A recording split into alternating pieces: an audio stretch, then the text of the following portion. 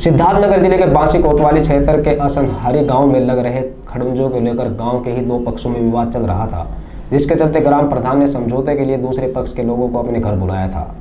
और वाद विवाद के दौरान ग्राम प्रधान के पक्ष के लोगों में से किसी ने दूसरे पक्ष के एक युवक को गोली मार दी। आनंद फानंद में उसे अस्पताल ले जाएगा जहाँ इलाज के दौरान उसकी मौत हो गई। वहीं मृतक विपुल सिंह की माँ कुसुम सिंह ने बताया कि मेरे घर के सामने इंटरलॉकिंग खड़ूंजा लगाया जा रहा था जिसमें ट्राली लाने को लेकर विवाद हो गया था। सूचना पाकर मौके पर एसएसपी भारी पुलिस बल के साथ घटनास्थल पर पहुँचे और जल्द ही मामले की जाँच कर सभी की गिरफ्तारी कर ली जाएगी। बता पाएँगे किस तरह किस कारण चली गोली कुछ जानकारी हुई आपको? कारण यही है खड़ंजा वही बन रहा था परसों से गाली गलौज हो रहा था। आज हुआ सुलह सपाटा करने के लिए भैया फैजाबाद से आए हैं।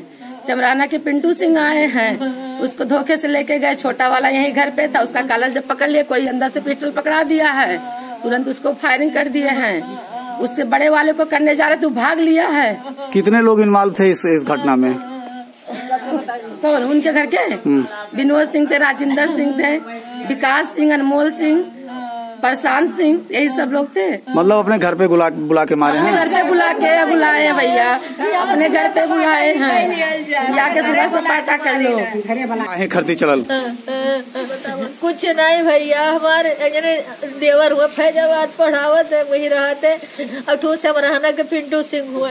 उनके दूजने कहीं की मार झगड़ा नहीं करे चलो सुलह सपाटा बातचीत करके अपन निपटा लिया जाए जानल गए। गए सब जने लगे वो सारी में बैठा है गाँव मने बहरे भगाए दिए।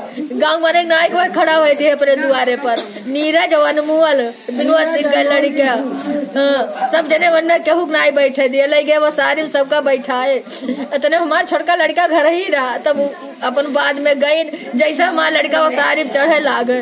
तैसे सब जने लपटिया जात गए और बातचीत हुआ रहा वैसे सब जने घर में लपटिया को तुरंत होकर मार देन गोली तुरंत सब जने। कौन गाँव हो लड़कों का आपके? विपुल सिंह ना हुआ। कौन गाँव हुई? असनहरी। थाना कौन हो हाँ, थाना सिद्धार्थ गाँव असनहरी थाना बासी में सूचना प्राप्त हुई कि गाँव में दो पक्षों में कुछ विवाद हुआ था। उस विवाद के चलते आज वो बातचीत कर रहे थे। उसी के मध्य एक पक्ष के द्वारा दूसरे पक्ष पर गोली चलाई गई इसमें विपुल नाम के व्यक्ति को सीने पर गोली लगी है। उनको उनके परिवारीजन लेकर हॉस्पिटल बस्ती गए हैं। जो परिवार वालों ने जो बताया, जो उस टाइम पे वहाँ पे चश्मदीद गवाह थे, उनके द्वारा बताया गया कि प्रशांत नाम के युवक ने गोली मारी है और उनके द्वारा बताया गया कि जो प्रधान के भाई हैं, अभी तक परिवार की तरफ़ से कोई हमें तहरीर प्राप्त नहीं हुई है, किंतु जो फौरी सूचना हमें मिली थी, उसके आधार पर हमने एक व्यक्ति को हिरासत में लिया है, जिससे हम पूछताछ कर रहे हैं। शेष लोगों के लिए हम तलाश कर रहे हैं। और इसमें जो भी सूचना आगे मिलेगी आप लोगों के साथ सर ये जो गोली मारी गई है क्या लाइसेंसी थी कि गैर लाइसेंसी बंदूक से? देखिए ये सब विवेचना के दौरान इस क्लियर होंगी। जैसा मैंने बताया कि अभी उन लोगों की हम तलाश कर रहे हैं और जैसा जो सूचना मिलेगी आपके साथ भी